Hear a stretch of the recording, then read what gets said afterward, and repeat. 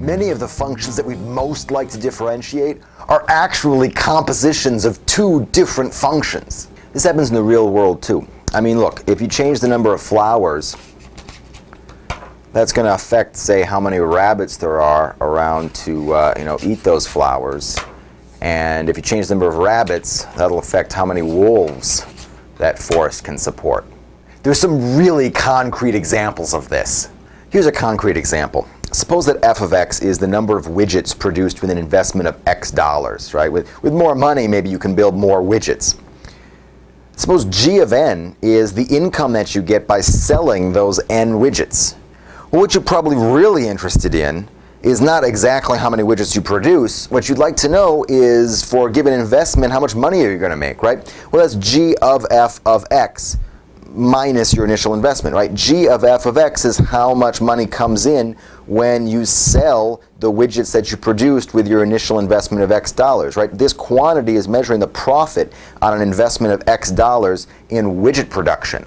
We need some framework, some general picture that lets us understand how one thing changing affects something else and how that thing's changing goes on to affect something else. Specifically, if I've got some function h, which is a composition of two functions, g of f of x in this case, I'd like to know something about the derivative of h. I want to know how changing x affects f and then how changing f goes on to affect g.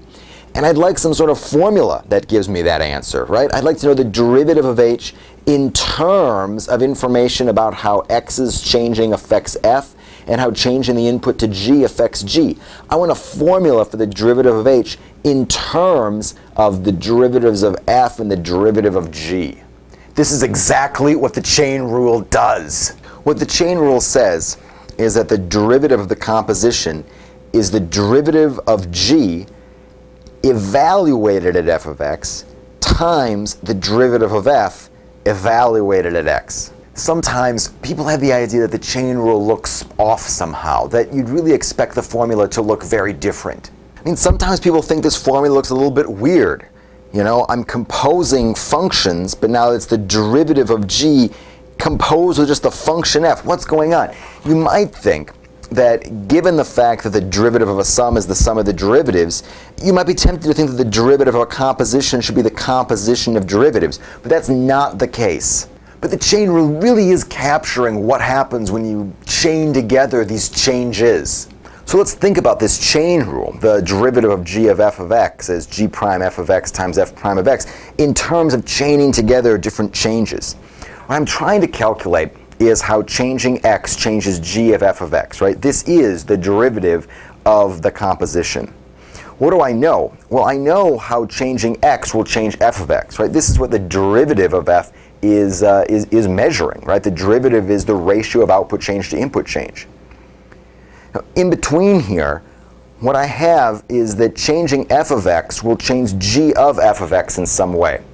This ratio of changes is really the derivative of g at the point f of x. What is the derivative? You plug in an input to the derivative to ask how wiggling that input would affect the output. And that's exactly what this ratio is. I'm asking how will f of x's changing affect g of f of x, right? That's the derivative of g at the point that's wiggling, f of x. Well, if you think about it now, if I just multiply these two things together, then I get the change in g of f of x divided by the change in x. This is the chain rule, right? If I multiply together g prime of f of x and f prime of x, what I'm left with is exactly what I want, the derivative of g of f of x. You can see this pictorially as well. So here I've drawn three number lines. On the first number line, I've drawn x, and I'm imagining x is the input to f, and on the second number line, I've drawn f of x, and f of x is now the input to g, and on the last number line, I've drawn g of f of x. The essential question answered by the derivative is how changing x will affect g of f of x. But since it's a composition of functions, I'm going to analyze the effect of changing x on g of f of x in stages, right? I'm first going to see how does changing x affect f of x, and how does f of x's changing affect g of f of x. So let's imagine that I change x by a small quantity. I'm calling that small quantity h here. h is not a function, it's just some small number, the amount by which I'm wiggling the input. Now, how is the output affected? Well, that's exactly what the derivative measures. Right? The derivative of f at x tells me how wiggling the input x would affect the output. So f prime of x, which is the ratio of output change to input change, times an actual input change, gives me a first order approximation of the output change. So I imagine that the output is changing by about f prime of x times h. Now how does that changing value of f of x affect g? Well, I have to figure out how wiggling the input to g will affect the output to g, and that depends on where I'm calculating the derivative. I need to calculate the derivative of g at the point f of x because f of x is the point that's doing the wiggling. So it's the derivative of g at the point f of x that tells me how wiggling the input around f of x would affect the output to g.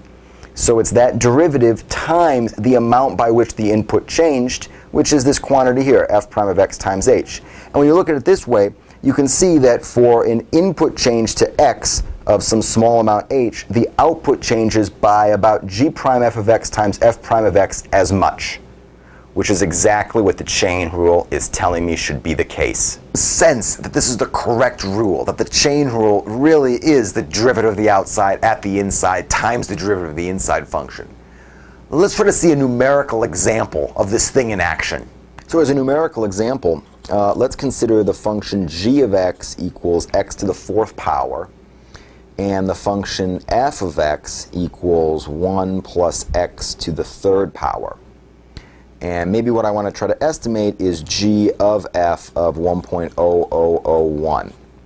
And I want to know approximately what is that equal to. Well, it's not too hard to calculate g of f of 1, right? What's f of 1? Well, that's 1 plus 1 cubed. Well, that's 2. So what's g of 2? Well, that's 2 to the fourth. Well, that's 16.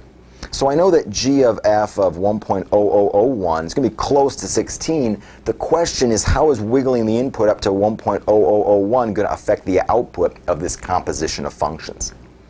Well, I could do it in stages, right? That's what the chain rule is telling me to do. So I could calculate first the derivative of f at 1, right? And the derivative of f is 0 plus 3x squared, so the derivative of f at 1 is 3.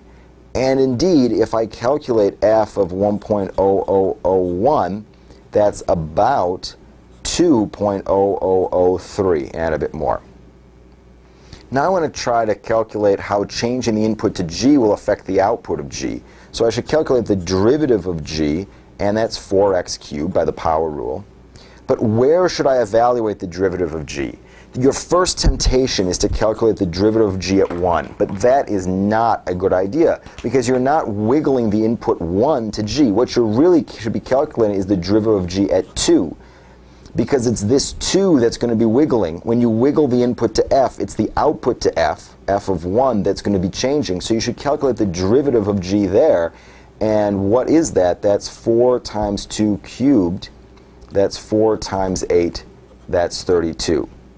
So what we're trying to calculate is g of f of 1.0001. And I know that that's about g of, well, what's f of 1.001? It's about 2.0003. So what happens when I wiggle the input of g from 2 to 2.003? Well, that should be about the output of g at 2, which is 16, plus how much I change the input by, times the derivative of g at the point where the wiggling's happening, which is 2, and that's 32. And what's 16 plus 0.0003 times 32? That's 16.0096. So g of f of 1.0001 is about 16.0096.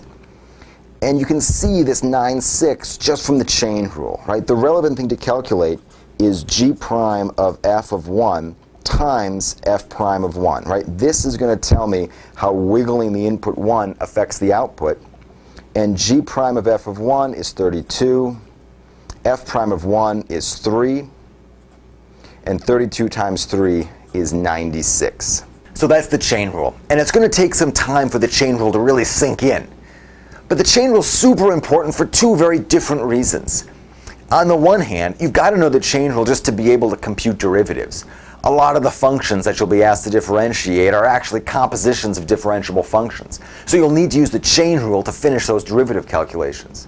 But on the other hand, you've got to know the chain rule just to understand how chained together changes work. In the real world, a lot of things change, and those changing things affect other things, and those changing things then go on to affect yet other things.